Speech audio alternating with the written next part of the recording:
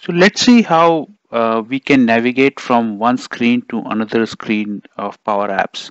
So let's say we have an app where we just have one screen right now. It's called first screen.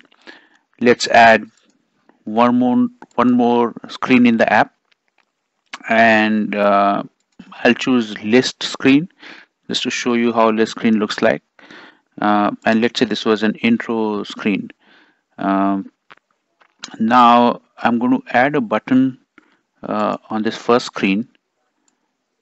This first screen will say this button will say go to uh, second screen.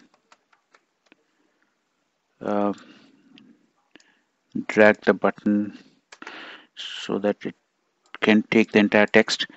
And um, and second screen let's rename the screen to call it second screen. Okay.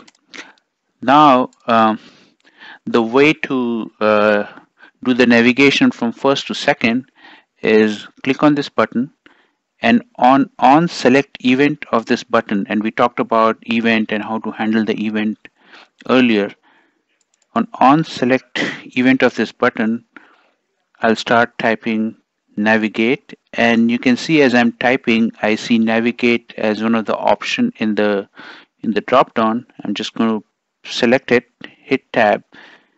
And this IntelliSense is giving me the option of which screen to navigate to. And it just knew that I have to navigate to some screens so it just gave me name of both the screens which are there in the app. I chose the second screen. The second option is how do we want this navigation to be? So how do we want the transition to be? No transition at all. It fades or cover and you can play with different options. But in this case let's say we choose none.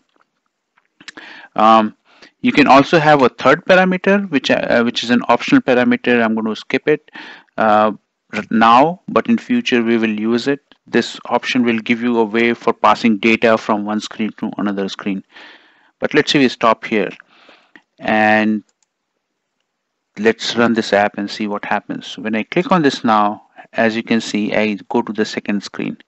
Uh, but I, there's no way for me to go back to the first screen. Uh, let me do that quickly.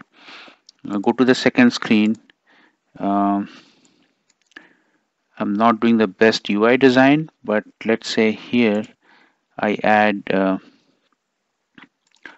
another control a back arrow and put that here. Like I said it's a horrible design but let me just drag it here just to show the concept of navigation. Now on on select of this button all I'm going to do is say back.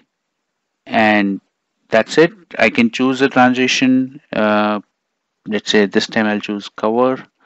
Um, so I have two options. Back means whatever was there earlier it will just go back to the same screen which happens to be first screen in this case. Or I could have chosen navigation uh, the navigate uh, method that I used for the first screen. Uh, that will do the same thing uh, but with navigate I have more control. I know which screen I want this navigation to be. Uh, with back it will just go to the stack and see which was the last screen and it will just show that screen. So let's now run this app and see what happens go back to the first screen click on go to second screen. Now I'm on the second screen. I hit on go back and now I'm here. And you also saw the subtle difference in the navigation. See it again. Here there's no transition but when I click on back just because we chose a different kind of a transition option we see some kind of a, a sliding kind of a, a, a navigation happening between these two screens. It's called cover in this case so hope, hopefully that gives you a good idea of how to how to do the navigation implement the navigation between multiple screens